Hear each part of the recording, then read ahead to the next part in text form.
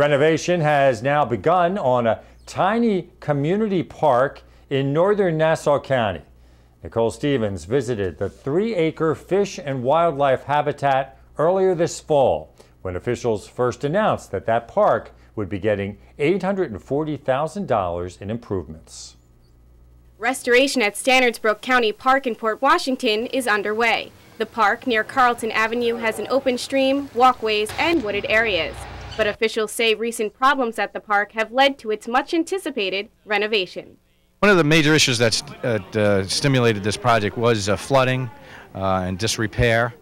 A park is a living thing. It has to be maintained and protected. I feel it's, it's about time they got it all cleaned up. It's been a, an eyesore for a long, long time.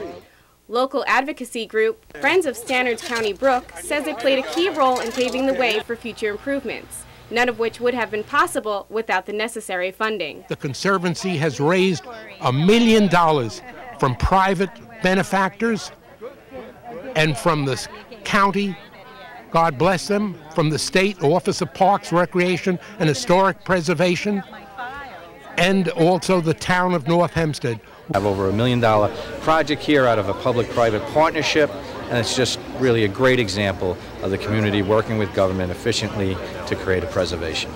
The removal of invasive plants and modifications to the stream, walkways, and bridges are just some of various improvements that will be taking place. And their goals really were to return the park to a natural area, to make it a beautiful passive park, to make it a park that was for environmental learning.